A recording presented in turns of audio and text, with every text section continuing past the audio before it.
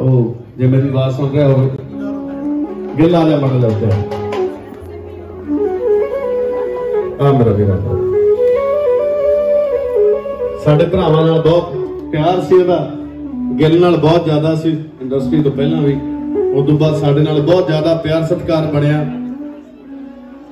ਇੱਕ ਵਾਰੀ ਮੇਰੇ ਭਰਾ ਦੇ ਨਾਂ ਤੇ ਉੱਤੇ ਬੈਠਾ ਸੁਣ ਰਿਹਾ ਹੋਊਗਾ, ਤਾੜੀਆਂ ਲਾ ਦਿਓ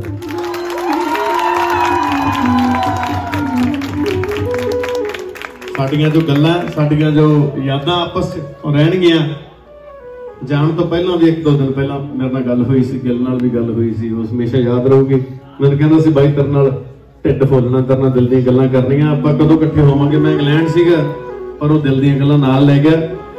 ਪਰ ਮੈਂ ਇਹੀ ਗੱਲ ਕਹੂੰਗਾ, ਤੁਸੀਂ ਸਾਰੇ ਜਾਣੇ, ਆਪਾਂ ਸਾਰੇ ਜਿੰਨੇ ਵੀ ਤੁਸੀਂ ਮੇਰੀ ਆਵਾਜ਼ ਇੱਥੇ ਸੁਣ ਰਹੇ ਹੋ 28 ਸਾਲ ਦਾ ਮੁੰਡਾ, ਉਹਨੇ ਦੱਸਤਾ ਕਿ ਕਲਾ ਕੀ ਚੀਜ਼ ਹੁੰਦੀ ਹੈ।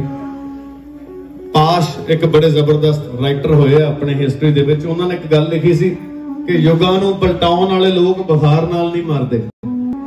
ਤੇ ਸਾਡਾ ਭਰਾ ਵੀ ਬੁਖਾਰ ਨਾਲ ਨਹੀਂ ਮਰਿਆ।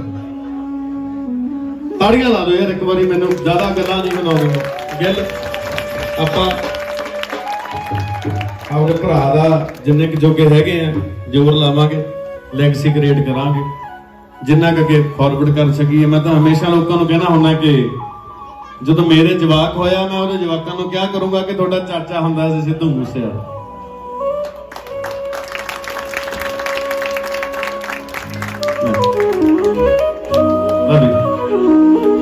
ਉਹਦੇ ਗਾਣੇ ਤੋਂ ਸ਼ੁਰੂਆਤ ਕਰਦੇ। ਬੰਬੀਹਾ ਬੋਲੇ ਤੋਂ ਕਰਦੇ ਹਾਂ ਸ਼ੁਰੂਆਤ।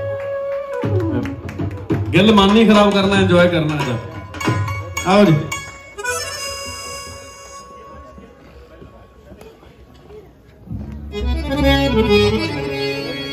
ਆਪਾਂ ਸਾਰੇ ਇੰਜੋਏ ਕਰਨਾ, ਮੈਨੂੰ ਪਤਾ ਤੁਹਾਡੇ ਸਾਰਿਆਂ ਦਾ ਖੁਸ਼ੀ ਦਾ ਦਿਨ ਹੈ ਮੈਂ ਸਾਈਡ ਨਹੀਂ, ਇਸ ਚੀਜ਼ ਨੂੰ ਬਣਾਉਣਾ ਚਾਹੁੰਦਾ।